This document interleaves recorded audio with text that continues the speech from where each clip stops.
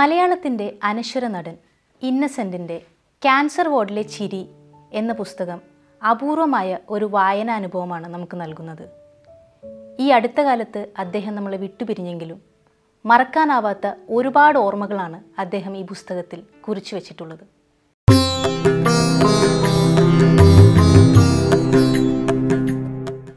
ചിരിച്ചും ചിരിപ്പിച്ചും മലയാളികളുടെ ജീവിതം ആഘോഷപൂർണമാക്കുന്നതിനിടയിലാണ് ഇന്നസെന്റ് സാറിന് ക്യാൻസർ എന്ന മഹാവ്യാധി പിടിപെടുന്നത്. താമസിയാതെ ഭാര്യ ആലീസിനും. ആ കാലത്തെ ഓർമ്മകളാണ് ഈ പുസ്തകത്തിൽ.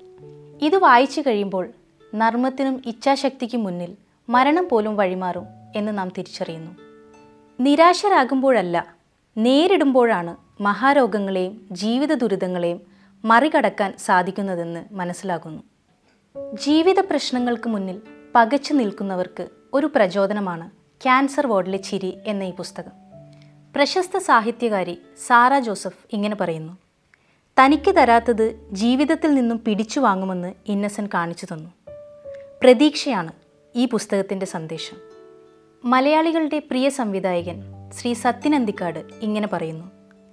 എഴുതാത്ത ബഷീർ എന്നാണ് ഞാൻ പണ്ട് ഇന്നസെന്റിനെ വിളിച്ചിരുന്നത്.